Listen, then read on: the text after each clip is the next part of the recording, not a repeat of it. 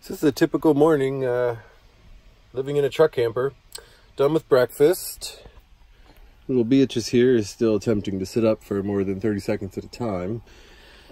Hellboy's just hanging out, watching out the back window. He's done with his 15 perimeter checks to make sure no one's outside that he doesn't care for. Here's little Sebastian. He was just playing. Now he's a little camera shy. Oh, there we go. Um, otherwise, uh, it's amazing how how much room you uh, you know get used to when you've only done this for a few months. I mean, it no longer feels like a small space. It feels like you got a whole entire bedroom here to all hang out in. Um, and then you know, if we if we are done playing up here, we could just head on down to the living room slash kitchen.